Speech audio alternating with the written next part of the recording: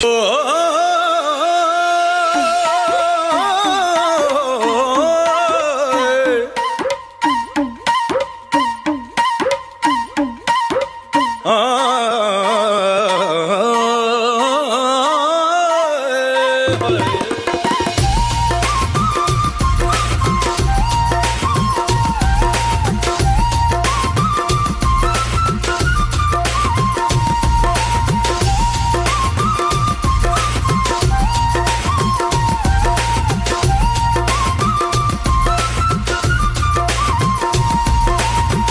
नमस्कार, जय माता दी। एक और नए व्लॉग में आप सभी का हार्दिक स्वागत व अभिनंदन है। मेरा नाम है आयुष और आप देख रहे हैं आपका प्यारा यूट्यूब चैनल टेंपल पॉइंट एक नए सफ़र की शुरुआत होने जा रही। बेसिकली हम ट्रैवल करने वाले हैं आज one two three three one Himgiri express में, जो कि हावड़ा से लेकर जम्मू तवी तक चलती है। और अगर बात करें इसके स्टॉपेज की तो हावड़ा, आसनसोल, उसके बाद आपका जो है वो जेसीडी साथ ही साथ मधुपुर आरा, बक्सर, पंडित दीनदयाल उपाध्याय जंक्शन, वाराणसी, लखनऊ, मुरादाबाद, लुधियाना, पठानकोट, जम्मू तवी। ऐसे तमाम बड़े बड़े स्टेशनों को कवर करते हुए जम्मू तवी पहुँचती है। अगर समय की बात करें तो ये खुलती है रात को लगभग 11 बजे के आसपास हावड़ा से। और नेक्स्ट के नेक्स्ट डे ये पहुँचती है लगभग एक बजे जम्मू तवी। लगभग सैंतीस घंटे का टोटल टाइम कवर करती है ये। और इसमें आपको एसी के first class second class third class sleeper के कोचेज़ और जनरल के कोचेज़ मिल जाते हैं। साथ ही साथ, अगर बात करते हैं थोड़ी सी हिस्ट्री की तो लगभग एक जनवरी 1980 में इसकी शुरुआत हुई और इसको ऑपरेट करता है ईस्टर्न रेलवे तो काफ़ी ज़्यादा जो है इसमें रश भी होता है क्योंकि इतने बड़े बड़े स्टेशनों को कवर करती है। हमने इसके पिछले टाइम ट्रैवल किया था बेगमपुरा एक्सप्रेस से, जो कि वाराणसी से जम्मू तवी के बीच चलती है। लेकिन इस बार का सफ़रनामा इससे होने वाला है। हालाँकि इसका रिटर्न जर्नी मैंने कवर किया हुआ है चैनल पे, आप चाहें तो जाके देख सकते हैं। उसमें मैंने आपको रिटर्न जर्नी दिखाया है, वो भी वाराणसी तक का और अलग अलग पार्ट्स में दिखाया है, क्योंकि सीट्स मिलते नहीं हैं। हालाँकि एक चीज़ मैंने इसमें देखा है ना कि अगर आप टिकट करते हैं पार्ट वाइज जैसे आप कर लेते हैं जम्मू तवी से लुधियाना और लुधियाना से लखनऊ लखनऊ से वाराणसी तो आपको टिकट मिलने के चांसेस बन जाते हैं। अब मेरा टिकट जो है, वो है पंडित दीनदयाल उपाध्याय जंक्शन से जम्मू तवी तक। इसी के थर्ड कोच में हम ट्रैवल करेंगे। पूरा एक्सपीरियंस पूरा जर्नी आपसे शेयर करेंगे यहाँ से। हमारे साथ बने रहेगा वर्चुअली वर्चुअली घर बैठे। इसे पूरा एंजॉय करिएगा। इसके लिए आपको डिवाइस को फुल स्क्रीन करना है हेडफोन लगाना है और आने वाले कुछ समय के लिए सब कुछ भूलकर हमारे साथ इस वर्चुअल जर्नी में शामिल हो जाना है। बहुत इन्जॉय होने वाला है। लगभग 20 मिनट की देरी से हिमगिरी एक्सप्रेस पंडित दीनदयाल उपाध्याय जंक्शन के प्लेटफॉर्म नंबर चार पर आ रही है और इधर जो है, वो ट्रेन खड़ी है हावड़ा देहरादून उपासना एक्सप्रेस। और फ़िलहाल ये देखिए, आपके सामने अराइवल आ रहा है। वेब सेवन है, हावड़ा का ही ये लोकोमोटिव है। और इसमें लगा हुआ है ना एल एच बी कोचेस तो थोड़ा सा अच्छा रहेगा बिकॉज़ बेगमपुरा में ना एल एच बी कोचेस था नहीं। उसमें पुराना वाला ही कोचेस था। अब इसका इंटीरियर देखेंगे। एसी के थर्ड क्लास में हमारा ट्रेन जर्नी होने वाला है और कोच है बी वन अभी देखते हैं बी वन कहाँ पर आने वाला है। और मैंने सोचा यहीं से पहले आपको दिखा ये देखिए, भारतीय रेलवे।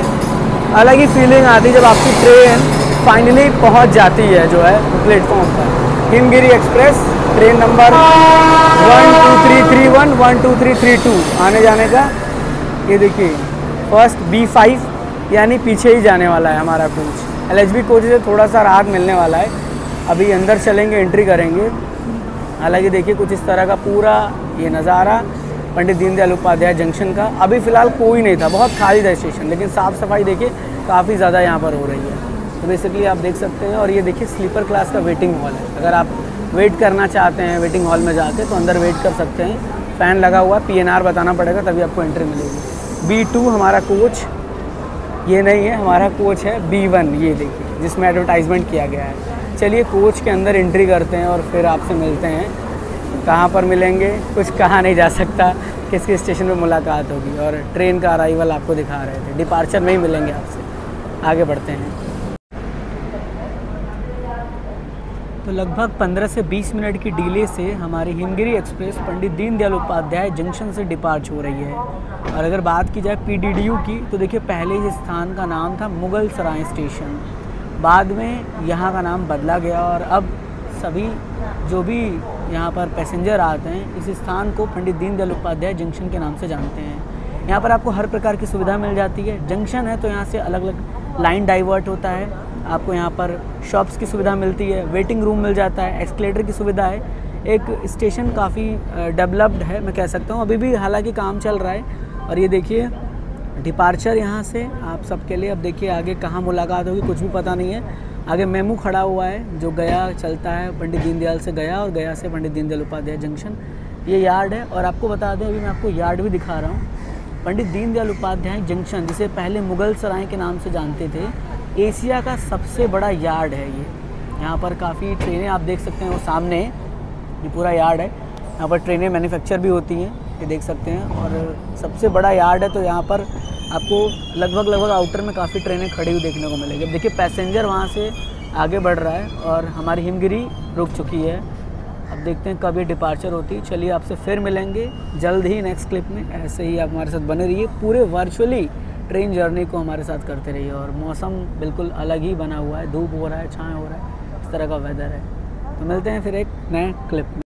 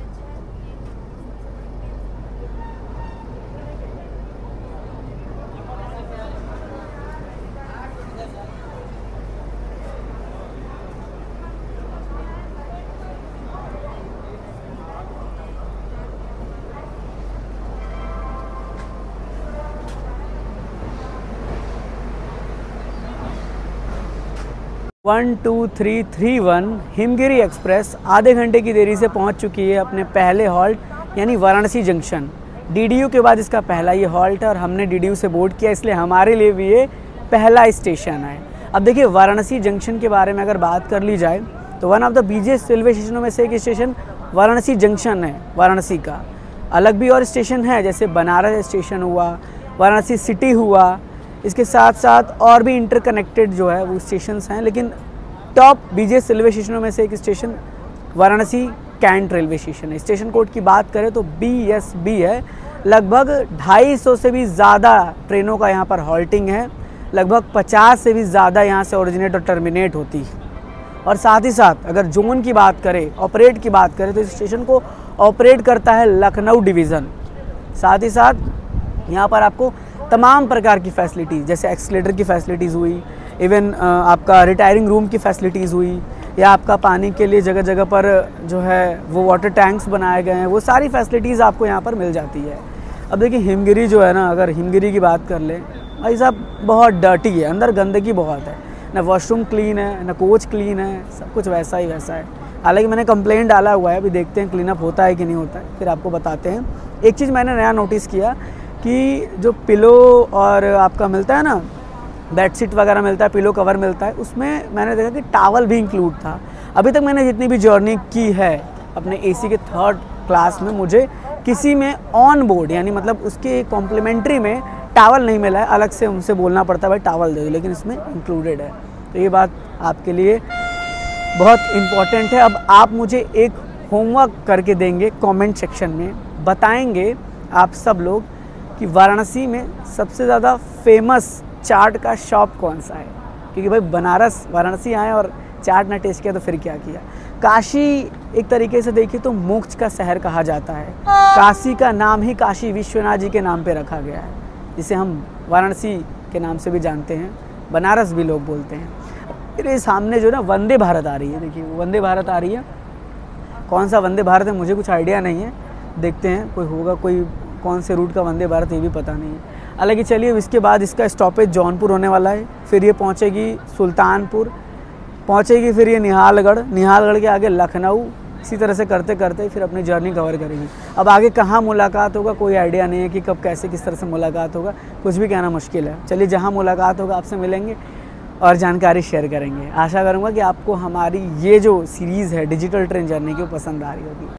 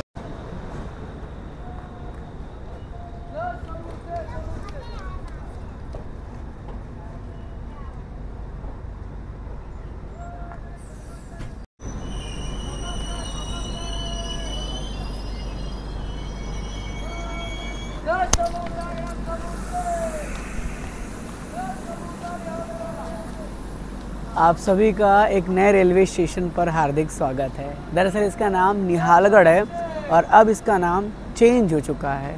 महाराजा बिजली पासी के नाम से इस स्टेशन का नाम पड़ चुका है। अभी मैंने देखा कि कई जगह पर निहालगढ़ लिखा हुआ है, लेकिन रीनेम किया जा रहा है। बात करें ट्रेन के सिनेरियो की, लगभग हमारी ट्रेन 30 मिनट डिले चल रही है और अभी आपको बता देना, अंदर साफ़ सफ़ाई का सिस्टम बहुत ज़्यादा मुझे ख़राब लग रहा है। बेगमपुरा से मैंने ट्रैवल किया बहुत नीट एंड क्लीन व्यवस्था है लेकिन यहाँ पर वो व्यवस्था है नहीं बेसिकली सिर्फ़ दो मिनट का हॉल्ट है स्टे, स्टेशन पर इस ट्रेन का। निहालगढ़ आपको पता ही समोसे के लिए बहुत फ़ेमस है। अब तो उस तरह का आपको समोसा मिलता भी नहीं जैसा पहले मिलता था। चलिए वैसे जर्नी चल रही है। निहालगढ़ एक कह सकता हूँ छोटा स्टेशन है बहुत बड़ा तो नहीं है लेकिन छोटा है। लगभग तीन प्लेटफॉर्म है और ज़्यादातर ऑलमोस्ट सारी ट्रेनों का हॉल्ट यहाँ पर आपको देखने को मिल जाता है। हर प्रकार की सुविधा मिल जाती है। साथ ही साथ आपको इस स्टेशन पर ना हैंड पंप की सुविधा भी मिलती है, जो आप मेरे पीछे देख रहे होंगे। व्लॉगिंग यही होता है, बड़ा टफ होता है। पब्लिक व्लॉगिंग करना थोड़ा सा टफ होता है, लेकिन उसके लिए आपका सपोर्ट चाहिए और आई होप आप सपोर्ट करेंगे। चलिए अब आगे मिलते हैं। ज़्यादा टाइम यहाँ पे हॉल्ट है नहीं तो हम वीडियो क्लिप को यहीं से एंड करते हैं और नेक्स्ट वीडियो में मिलते हैं।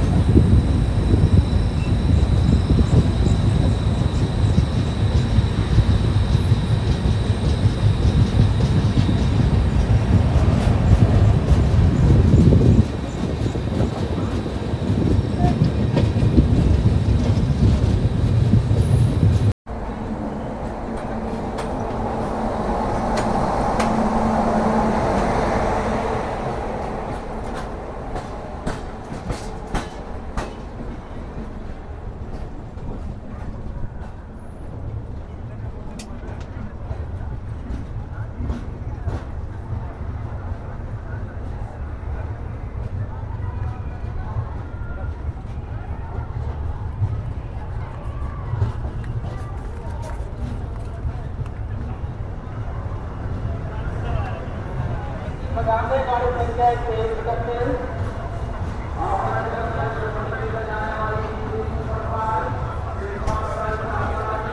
capital of Uttar Pradesh Lucknow में आपका स्वागत है। फाइनली हमारी ट्रेन ऑन टाइम पहुँच चुकी है लखनऊ। और आपको बता दें कि देखिए बेसिकली यहाँ पर इसका 10 मिनट का हॉल्ट है। हिमगिरी एक्सप्रेस चल रहा है, आराम से चल रहा है, पहले डिले था, अब जो है ऑन टाइम आ चुका है।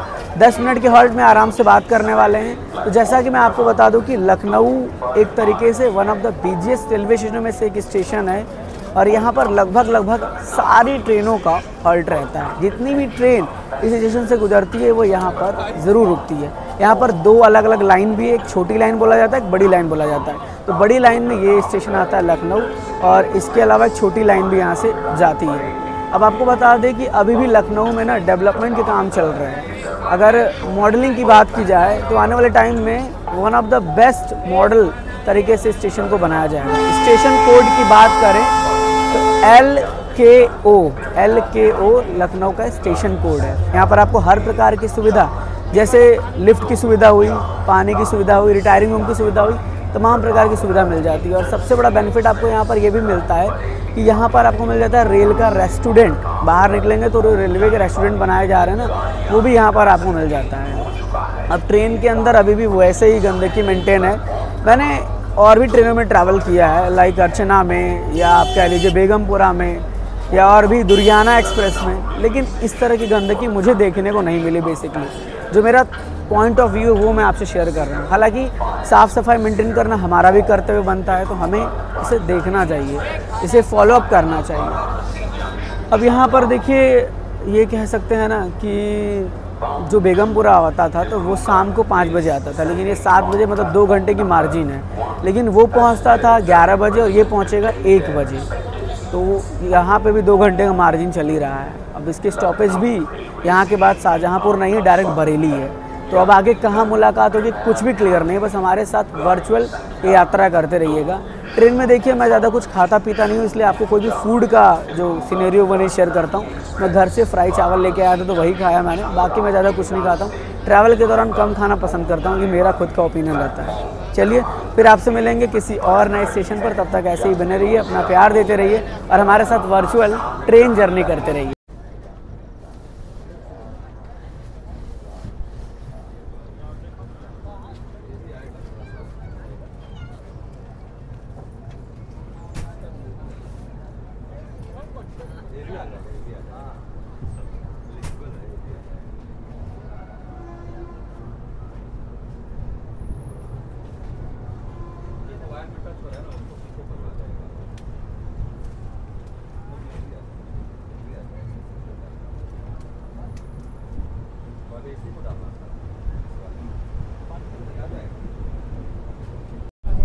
जय माता दी।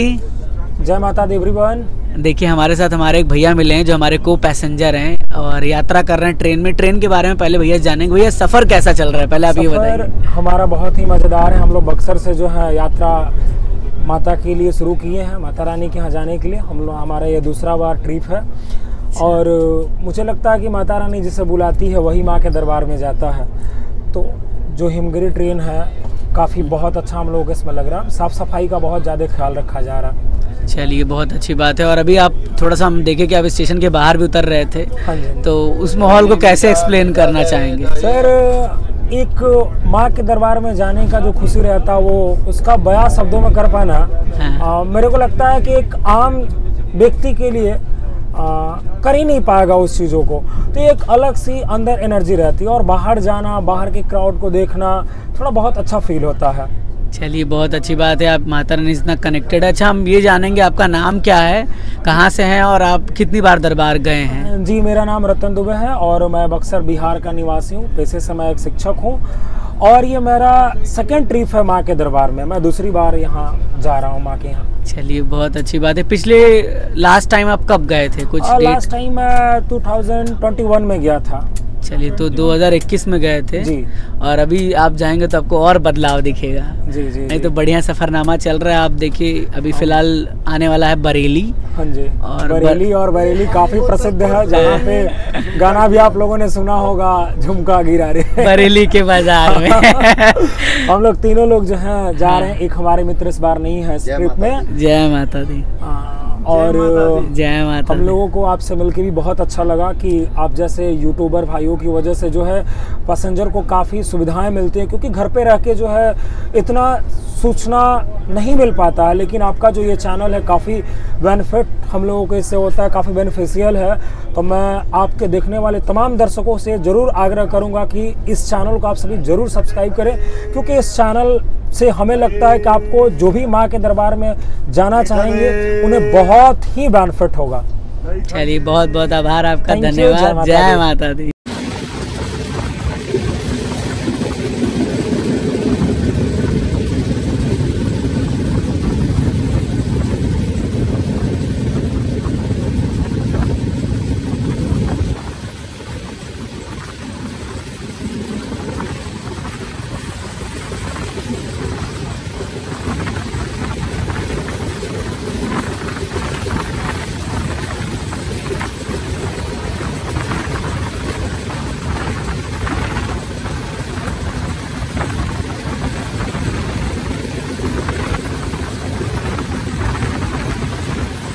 जय माता दी। जय माता दी everyone a very good morning to all of you finally हम पहुँच चुके हैं लुधियाना और हमारी ट्रेन लगभग लगभग ऑन टाइम ही पहुँची हुई है।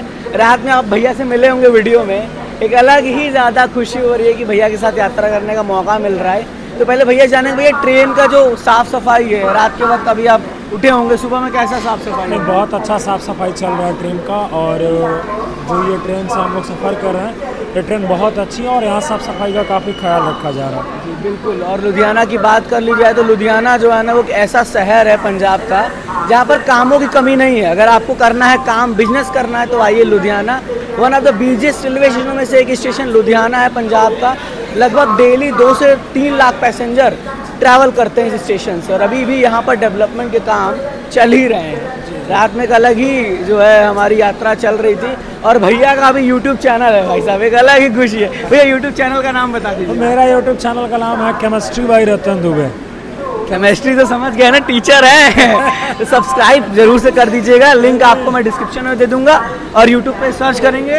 केमिस्ट्री बाई रतन दुबे या डी क्लासरूम न्यूज़ दोनों में से कोई आप सर्च कर सकते हैं। और मैं सभी से जितने भी व्यूअर से मैं एक चीज़ बोलूँगा यार आप सभी माँ के दर्शन कीजिए और माँ के दर्शन करने से पहले भैया का आप सभी यूट्यूब चैनल को सब्सक्राइब कर लीजिएगा।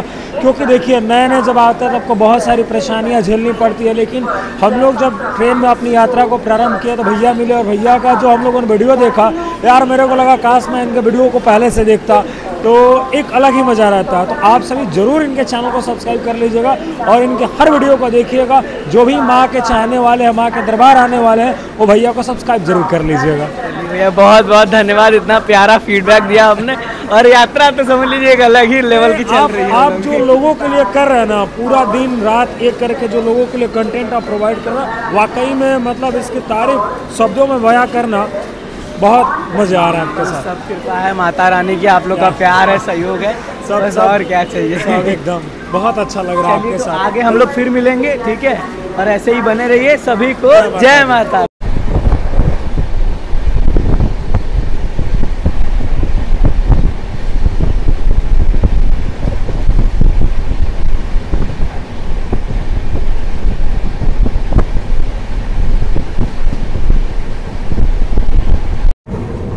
तो अभी हम मौजूद हैं हिमगिरी एक्सप्रेस में, जिसका ट्रेन नंबर है one, two, three three, one. ये पूरा इंटीरियर आप देख सकते हैं। उधर इकोनॉमिक कोच है, इधर एसी का थर्ड कंपार्टमेंट है। ये वॉशरूम है, फ़िलहाल ठीक है, आप देख सकते हैं ये वॉशरूम। वॉशरूम दिखा रहे हैं, बिल्कुल जैसे है, वो नीट एंड क्लीन, ऐसे ही वॉशरूम है। बहुत क्लीन तो हम नहीं कह सकते, बट अभी साफ़ सफ़ाई हुई थी इस तरह से और सामने मिरर है बेसिंग ये दिया गया है। आपको कोच के अंदर लेकर चलते हैं, हमारा एसी का थर्ड कोच है। और अभी हम इंटर कर चुके हैं और आपको लेकर चलते हैं अपने कोच के पास जहाँ पर हमारा सीट अलॉट हुआ है। तो ये फाइनली देखिए हमारा ये कंपार्टमेंट है। भैया लोग मौजूद हैं। जय माता दी। कैसा लग रहा है भैया लोग? बहुत अच्छा लग रहा है। तो अभी हम आ चुके हैं अपने कंपार्टमेंट में और सबसे पहले आपको यहाँ का पूरा इंटीरियर दिखा देते हैं। एल कोचेज है तो यहाँ पर आप देख सकते हैं सबसे पहले आपको मिल जाता है मिरर उसके बाद कर्टन्स जैसे आप हटाते हैं तो आप बाहर का व्यू देख सकते हैं विंडो से। यहाँ पर चार्जिंग स्लॉट दिया गया है। हालाँकि दो दो स्लॉट है इसका मतलब कोई दिक्कत नहीं तीन स्लॉट है। तो तीनों बर्थ के लिए तीनों स्लॉट दिया गया है। इधर भी आप देख सकते हैं कि स्लॉट दिया गया है। इसमें रिंग लाइट मौजूद नहीं है ठीक है? और अब जितने भी नए एल एच कोर्स आ रहे थे उसमें रिंग लाइट मौजूद है। सीट आपको पता ही है अपर मिडिल और लोअर इस तरह के सीट मिल जाते हैं। और देखिए हमारे साथ कुछ और भी पैसेंजर ट्रैवल कर रहे हैं। थोड़ा सा उनसे एक्सपीरियंस जानेंगे कि माता रानी के दर्शन करने जा रहे हैं। जय माता दी सबसे पहले। कैसा लग रहा है आप लोगों को ट्रेन में यात्रा करते वक्त? दरबार मतलब इसके पहले भी आप गई थी या फ़र्स्ट टाइम है फ़र्स्ट टाइम है। तो देखिए माता रानी के दर्शन करने। मैम आपका नाम? क्या बात है मैम आपका नाम? आपका नाम सर? चलिए तो सब लोग जो है माता रानी के दर्शन करने जा रहे हैं और बच्चे भी मौजूद हैं कुछ। कहाँ है हमारे बच्चे? ये देखिए बच्चे भी मौजूद हैं। क्या नाम है आपका? आपका नाम? आपका नाम? शिवांश और आर्या देखिए सब लोग दर्शन करने के लिए जा रहे हैं और एक अलग ही खुशी है। तो चलिए माता रानी यात्रा मंगल में बनाए। जयकारा माँ शेरा वालिदा बोल साचे दरबार की। जय।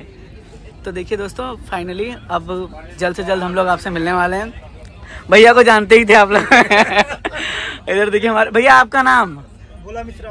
भोला मिश्रा भैया आपका नाम? मिथिलेश राय। मिथिलेश राय। तो चलिए भैया लोग देखिए मौजूद एक अलग ही मतलब आनंद आता है भैया लोगों के साथ यात्रा करते वक्त। और चलिए दर्शन करने के लिए जा रहे हैं फिर देखते हैं कहाँ मुलाकात होती है तो आप लोगों को मिलवाते हैं। जय माता दी। जय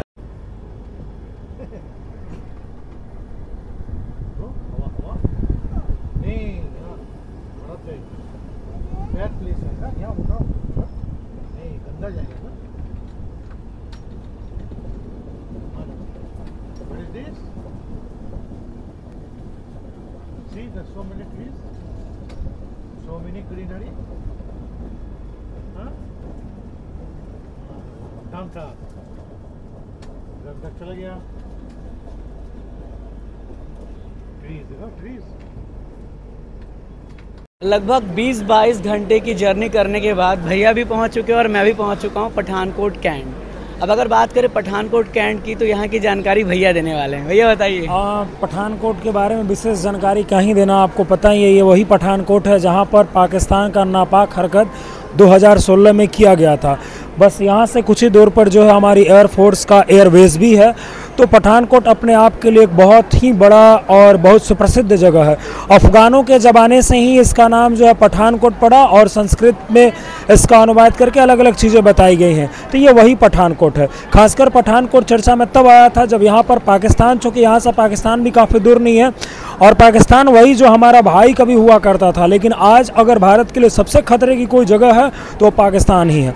तो हम उसी पाकिस्तान से सटे हुए इलाके यानी ये शायद ज़िला भी होगा पठानकोट यहाँ हम लोग आए हुए हैं जहाँ पर आप हमले उरी हमले जो सुने होंगे तो ये वही हमला वाला जगह है।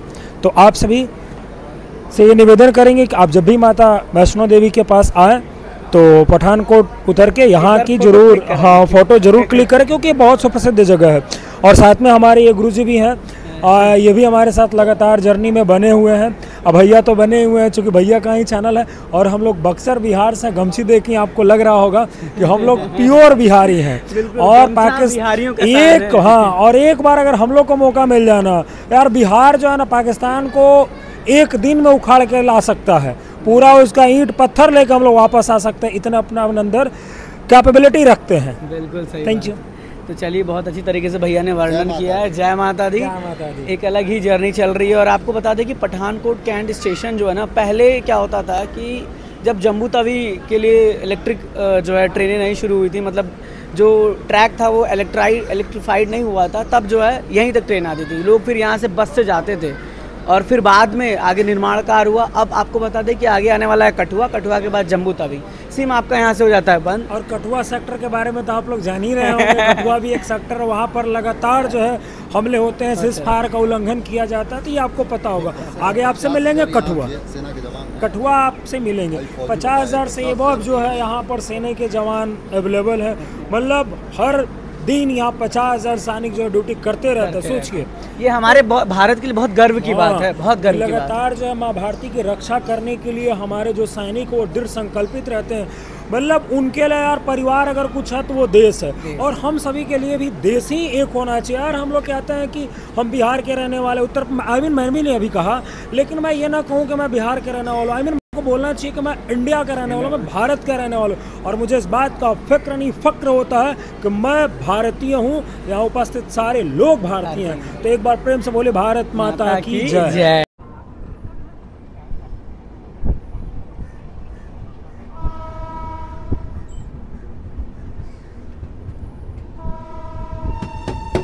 माता दी। मंदिरों के शहर जम्मू में आपका स्वागत है। फाइनली हिमगिरी एक्सप्रेस पहुँच चुकी है जम्मू तवी में।